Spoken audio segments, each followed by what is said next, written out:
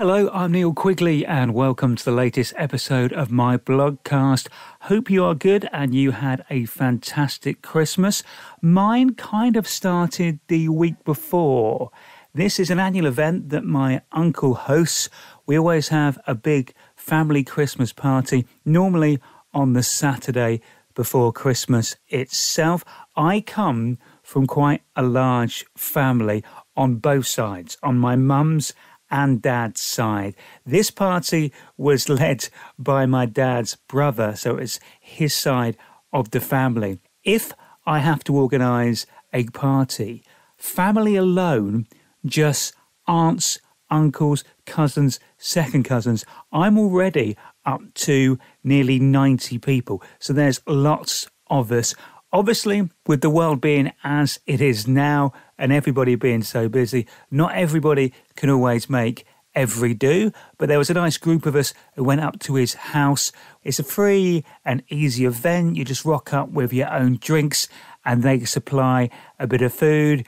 And we don't get to catch up that often nowadays. When I was a child, it seemed like we were having a family get together almost every couple of months. But now maybe once or twice a year we all get together. Made sure I got round and chatted to everyone that was there. I am still not drinking at the moment, so I found myself some non alcoholic Prosecco to enjoy, which was perfectly fine. Had a lovely time just having that, although there was lots of full of alcohol Prosecco doing the rounds, so I did have to be a bit careful just to make sure that I got the right drink, especially because I was driving as well. Linda came along. She has met the family a couple of times before, so it wasn't too daunting. Had a fantastic afternoon, Christmas songs on in the background, and a good laugh with everybody. That was during the afternoon. That night, I had arranged to meet up with a couple of my best mates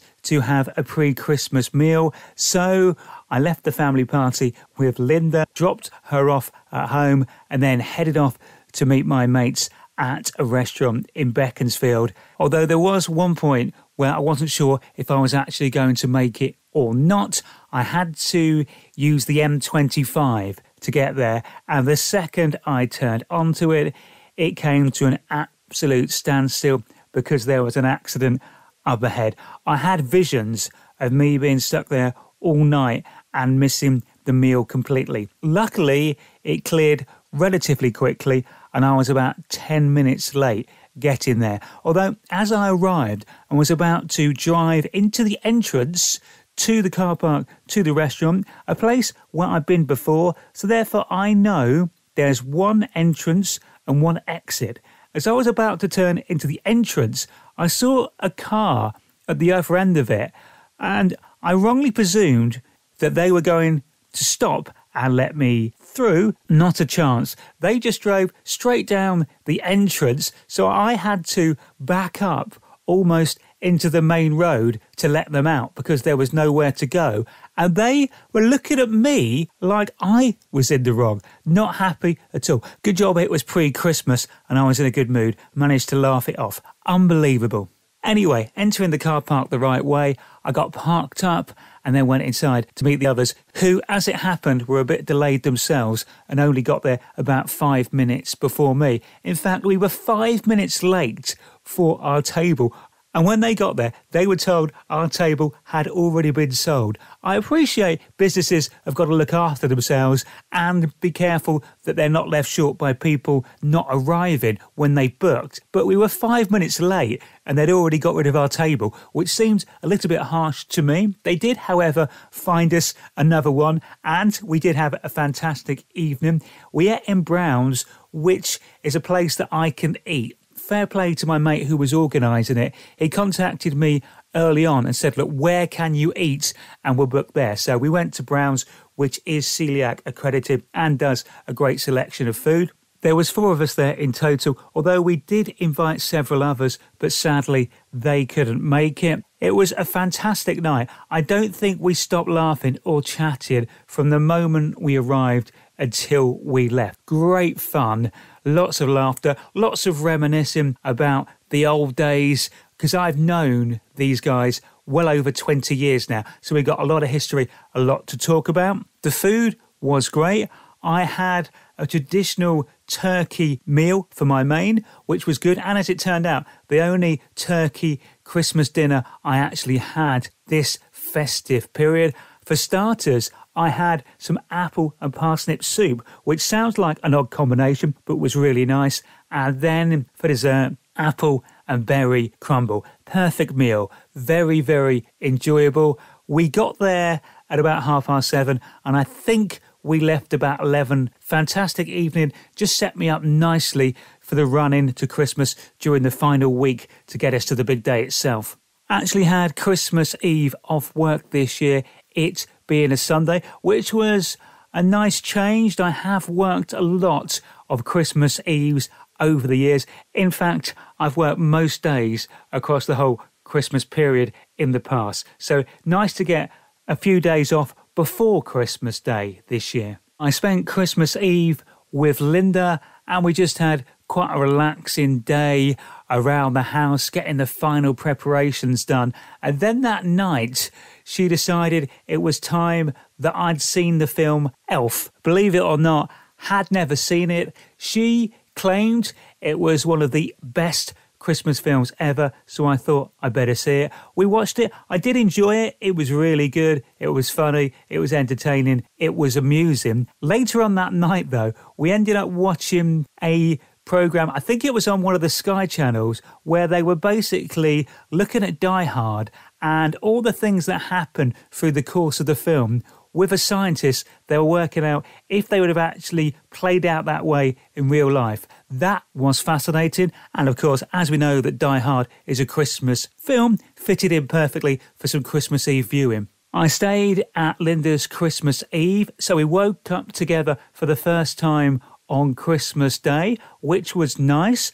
I got up and got us some tea and coffee, and we exchanged gifts and opened each other's presents I did very well. I got a brand new pair of headphones that I wanted that I'm actually wearing now. And I got a jumper and a few other bits. I was happy with the gifts I got her. We went to the of Wight Festival in 2021 and she is a Snow Patrol fan. So I got her in a frame the lyrics to the Snow Patrol song Run written in the shape of a record disc with our names and the date of the Isle of Wight Festival printed on it in her favourite colour of green.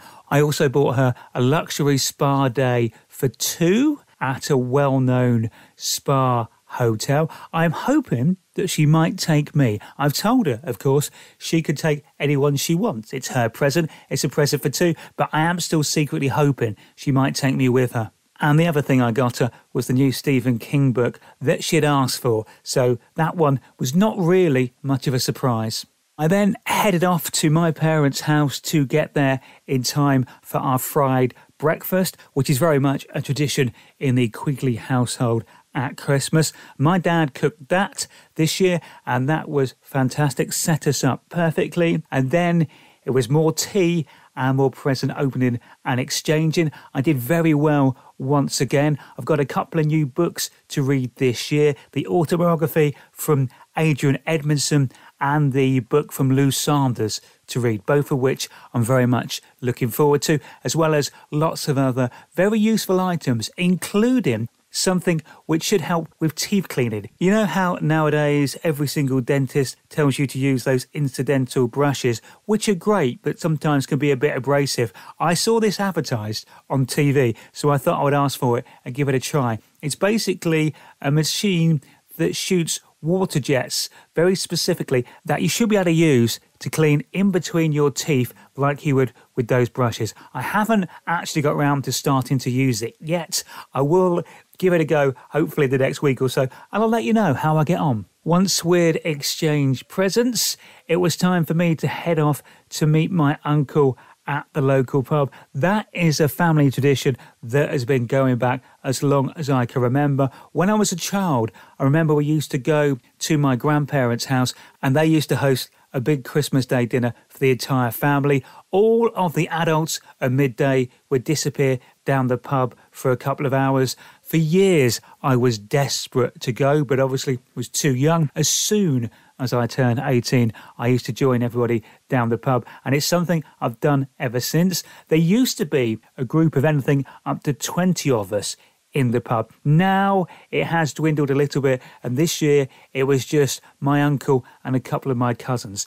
Nevertheless, we had a great time, a couple of hours just chatting. It's one of the few times nowadays I actually just get to catch up with him and have a good chat to him. So that was nice. I do like a walk to the pub at Christmas. It's just a chance to get a bit of fresh air and obviously burn off some calories and get yourself nice and hungry, ready for your Christmas dinner. Now, to help out with the Christmas dinner this year and make things easier for me and my parents, anything that would normally contain gluten, I offered to get and substitute to get a me friendly version. So I looked after getting the stuffing, the Yorkshire puddings, and the gravy and made them all gluten free, which meant our entire Christmas Day dinner of roast chicken was gluten free, which just makes my life so much easier and stops me worrying and means I can enjoy the meal. We had a great meal. I had such a lot of food on my plate and ate it all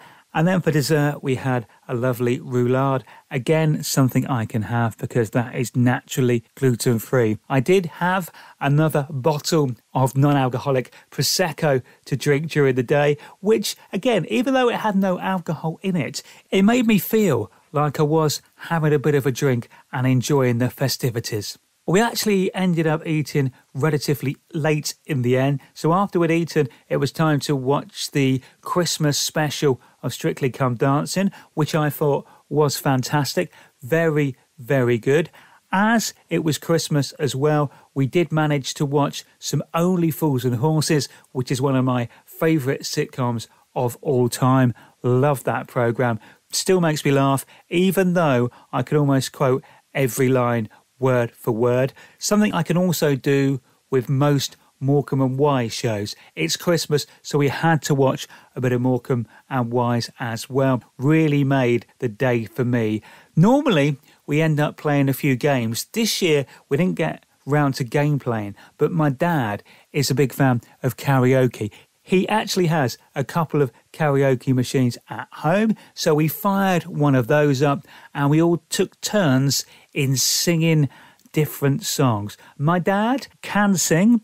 My sister can sing. My mum can sing much better than me. I cannot sing at all. Terrible at it, completely tone deaf. It's a shame. I would love to be able to sing. I like being on stage. I like performing. I just wish I could sing. If I could, I'd probably go to karaoke every night and hog the mic. Luckily, I can't, although I did try a couple of Bruce Springsteen numbers and do a few country songs. It was good fun. We done that for a couple of hours. I can only apologise if you live next door to my parents or even if you live on the same street, just in case we accidentally spoiled your Christmas with my terrible singing. After watching most of the horse racing on Boxing Day, I headed back to spend the rest of the day with Linda. We had a fantastic meal and a relaxing evening just watching TV and catching up on how our own individual Christmas days had been. Now, one thing I always like to do this time of the year is go to a pantomime. For me, it doesn't feel like it's been Christmas until I've been to one. The first one I went to, I was about four. My dad took me to it. I remember the Smurfs being in it, and I remember it featured the ABBA song I Have a Dream. I've been hooked on them ever since, and for the last six years now, I've been going to the pantomime at the London Palladium. It's at one of the biggest theatres in London, of course. It's so spectacular the way they do it, the special effects, the costumes, the cast. It's brilliant. This year, I managed to get Linda and I a box to watch it, which sounds very glamorous and very fancy, and it kind of was. However, these tickets were sold as severely restricted view seats, which, to be fair, you're right at the side of the stage, and some of the scenery does hide a portion of it. However, we could see most of the performance very clearly. And when any of the cast were front of stage, we had a great view. They were almost in our eye line, to be honest. And the tickets for this were £35 each, which I thought was an absolute bargain for your own box, where you can obviously hang your coats on the coat hooks and you've got plenty of room, just the two of you. And it does mean if you're sitting there, you haven't got to keep getting up and then sitting down to let people through. The show itself was, of course, brilliant. The cast include Julian Clary, Jennifer Saunders, Gary Wilmot, Nigel Havers, Paul Zerdin, and Rob Madge. They were all fantastic. Panto is perfect for Mr. Clary. He is the king or queen of innuendo. Every opportunity to make any sort of joke he can. And because everybody knows about him, his lifestyle, his previous stage work, making the jokes is just so easy. And he comes out in so many ridiculous and fabulous outfits.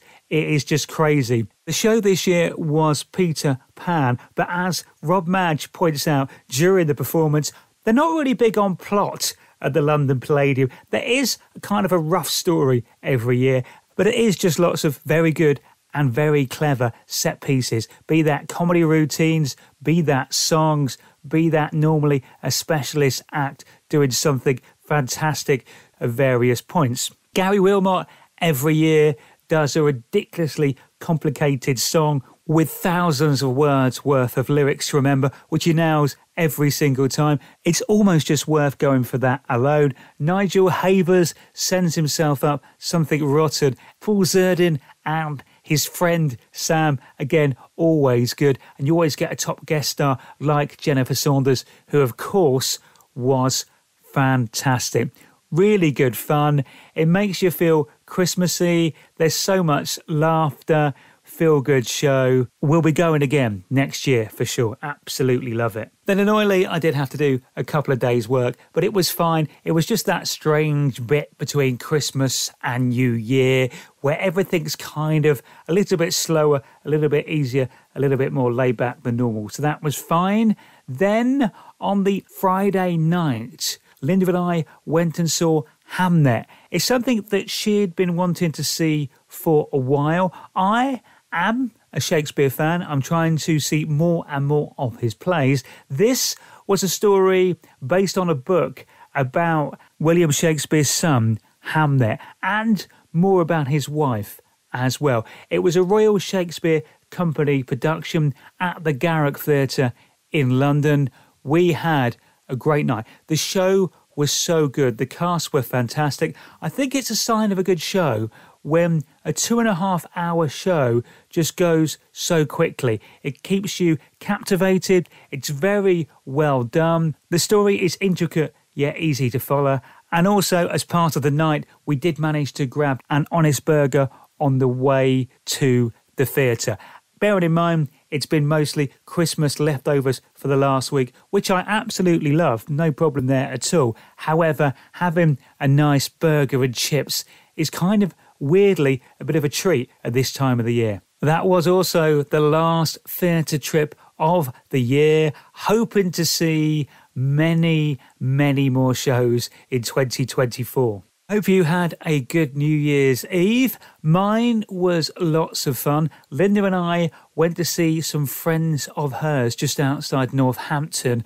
It was half house party and half a night down their local pub, which was a black tie event. Now, I do like dressing up. I do have all the gear, mainly thanks to people I know. When I found out I was going to this particular do, I kind of remembered vaguely my mate Mike Sterling giving me a tuxedo that he no longer needed. Now, I'd kind of forgotten about it, but then remembered just in time. Tried it on before the party. It fitted a treat. So that was my outfit proper tuxedo, white shirt, bow tie, looked the part, felt like James Bond. It was a fun night. It's always good to have an excuse to get dressed up. I was still not drinking alcohol, so it was on soft drinks and any non alcoholic beverages I could find, but had a fun evening. There was music,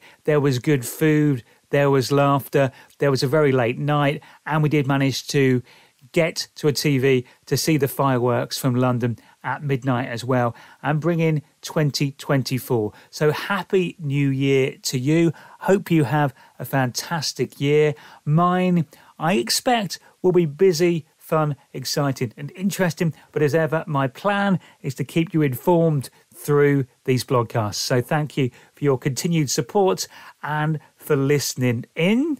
There will be a bit of a break though, because I've been doing this for a while when I can. I do like getting away for a bit of sunshine at the start of the year when it's a bit cold and wet and miserable here. I do like to get away and get some sun. So I am off on a two week holiday to the Caribbean. I will tell you more about it when I get back, but it does mean there'll be a slightly longer break than normal between blogcasts. Just a quick reminder that you can hear my radio show Saturday afternoons between 2 and 4 at radio9springs.com, although that will be taking a break while I'm away as well. That is it for now, though. Thanks for listening. Look after yourself, stay safe, and I'll speak to you again in a few weeks or so. Bye bye.